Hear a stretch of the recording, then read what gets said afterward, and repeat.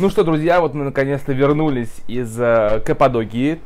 Э, купили там много всего интересного. Сейчас мы об этом вам расскажем. Обязательно расскажем вам про местные сладости каппадокийские. Э, и еще вот мы купили, смотрите, какую классную штуку.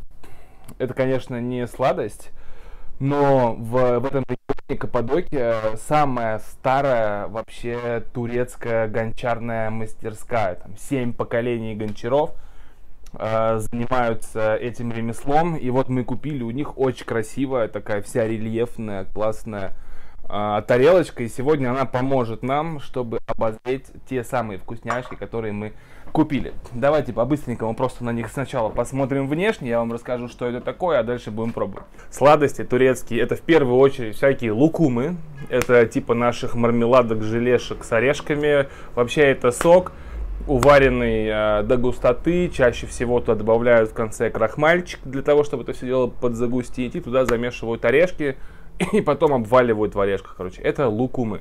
Вот есть еще пахлава, но пахлавы слишком большой разновидности, э, вариации. Я не огромный ее фанат, поэтому мы ее опустим, она нам не особо интересна. Нам интересны лукумы, потому что это реально очень и очень древние турецкие сладости. Э, мы купили несколько вариантов. Вот мы купили вот такой вот э, с, гран гранатовый. Здесь уваренный сок граната и внутри орешечки. Мне показалось, что такой слегка кисленький, прикольный, интересный. Также мы купили похожий, но это сок ежевики. Э, ежевичный лукум, тоже очень классный. Я надеюсь, что они вкусные. Вот это вот вообще просто бомбическая тема. Это э, абрикосы в шоколаде. Но, как я понимаю, как я попробовал, это не совсем цельный абрикос. Это какая-то паста из абрикосов, которая а потом ну, выкладывается в рамку, режется кубиком, обваливается в шоколад. Это интересно, я такого не встречал. А дальше вот это вот лукум, это пряный лукум. То есть вообще они его, он там что-то, что-то там он стал единым целым. Сейчас посмотрим. Короче, это прикольная штука. Я когда буду его пробовать, я вам расскажу, в чем ее прикол. Вот. И вот это, вот это Рафаэлла турецкая, как они ее называют. Это э, лукум из козьего молока. Э, теперь давайте пробовать. Давайте сначала откроем вот этот. Я вам сразу же про него расскажу. Так, как бы тебя открыть? Запаяли как iPhone. Вот так. тан тан тан тан тан тан тан тан тан тан тан тан тан тан тан тан Вот это и положили на солнце. Вот что мы получили в итоге. Небольшая авария, дочь мента. Кто не знает, есть такой фильм. Короче, это лукум. Ладно. Его мы просто так попробуем, потому что у нас произошел конфузик. Немножко все оказалось в тепле, чуть-чуть подтаяло. Но я надеюсь, что на вкусовые качества это не повлияло. Короче, это э, пряный лукум с кучей пряностей, имбирь, корица, гвоздика, анис. И они это называют лекарством от кашля. Реально, турки использовали этот лукум как лекарство от кашля. Но как только началась пандемия коронавируса, они сказали, что это от коронавируса. То есть, короче, такая очень удобная ерундистика, которую можно подвязать под любую пандемию, и она будет от этой пандемии помогать. Пахнет он пряненько, Пахнет очень приятно. Давайте попробуем. По вкусу это похоже на имбирный пряник. То есть, если кто-то из вас делал по моему рецепту, э, будет, кстати, ссылочка, я и в описании тоже на пряники. Если кто-то из вас делал пряники по моему рецепту, имбирь пошел, то вкус прям практически один в один.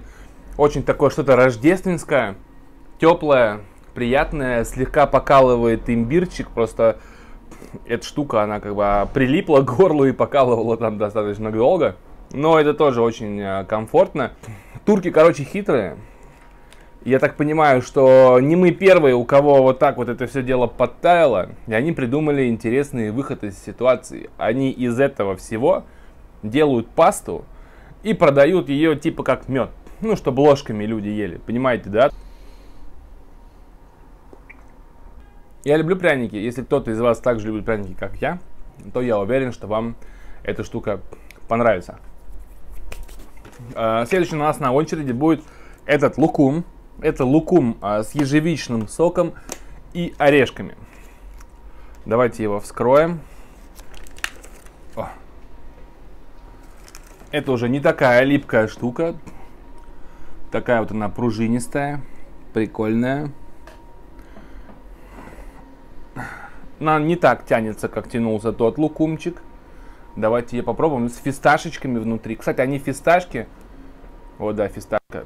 Пихают вообще везде. Такое ощущение, как будто они у них тут как сорняк растут. Мы, понимаете ли, платим в Москве там за хорошие фисташки по 4,5-5 тысяч за килограмм, а здесь их пихают куда ни попадя. Интересно. М -м. Такой приятный, достаточно яркий вкус ежевики. Практически совсем не сладкая. Ну, такая слегка сладковатая приятная фисташечка, которая похрустывает и оставляет вот свой фисташковый вкус. Прям однозначный лайк. Единственное, что мне бы хотелось, наверное, чтобы была чуть покислее. Все, видите, какая Специально для лукума тарелочка. Переходим к следующему. Следующий у нас будет а, лукум гранатовый.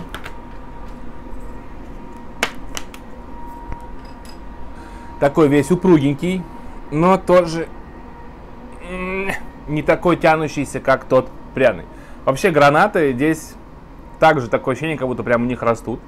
Везде их очень много. Продаются на каждом шагу сок из граната, там свежий гранат. Если хотите, вам его даже разделают при вас. Вскроют, как бы, и вы сможете спокойно его съесть, как бы не мучаясь с разделкой граната. Но а, они здесь сладкие, очень такие прям яркие, красные. Очень вкусный сок из них. Так, ну что, поехали. Ничем не пахнет. Яркий гранат. Опять же, фисташка. Все-таки на самом деле вот у нас в наших э, широтах пахлава и, и лукумы все, они делаются с фундуком, с миндалем, грецким орехом. А, а здесь, наоборот, это все делается с фисташкой. Просто у нас фисташка это очень дорого, а у них, наверное, фисташка это очень дешево. И э, по рынку, когда мы гуляли, то можно найти фисташку в шафране. Ну, это прям, э, как это, золото в алмазах, понимаете? На самом деле, здесь тоже шафранчик стоит не очень дорого э, и очень качественный. Иранский, правда. Нету турецкого шафрана, есть иранский. А, Еще съем кусочек, очень вкусная. Она тоже практически не кислая, слегка легкой, кисленькой. Яркий гранат достаточно, но не навязчивый. Приятная фисташка, которая очень в кассу. Короче, это можно прям есть и есть, закидывать в себя. Но мне кажется, что это как бы я, ядрено калорийно. Пойдем дальше. Следующий у нас будет на очереди. Это э, турецкая Рафаэлла, как они ее называют. Это лукум из козьего молока. Давайте вскроем. Тоже с фисташкой. Естественно, как же без нее. Давайте вытащим одну. Посмотрим на нее. Вообще с виду похоже на какую-то нугу. Вот, но это не нуга. Это лукум. Тоже такой тянущийся, прикольный. Пахнет очень приятно. Ну, кокосом. Просто обсыпано кокосом. Поэтому и приятно пахнет. Такой плотненький. Это уже э, значительно слаще. Не могу сказать, что это прям что-то сверхъестественно выдающееся. Да, это вкусно, но спроси у меня, какой здесь вкус, какой оно на вкус, я не смогу ответить. Потому что, да, здесь как бы то, что это обсыпано кокосом, это ощущается. И, на, и во вкусе тоже, безусловно, вы ощущаете кокос. Но сама вот эта масса, она, как по мне, вообще безвкусная. Просто сладкая. Это не то, ради чего бы я еще раз бы, например, заехал в этот магазин за сладостями. Точно не из-за этого. Скорее вот из-за этих вот трех, но не из-за этого однозначно. Мне казалось, что на дегустации было вкуснее, если честно. У нас осталось самое интересное. Это наши абрикосы, курага. Курага! в шоколаде. Мы привыкли к черносливу в шоколаде, а они к кураге. Странные. Да-да-да-да, это уже прям шоколадные конфетки. Давайте на нее посмотрим. Просто обливная конфета, внутри которой вот такая вот. Ну, то есть это однозначно не цельный а, абрикос, да, не цельная курага, потому что просто так вот пальцами без усилий разорвать абрикос было бы невозможно.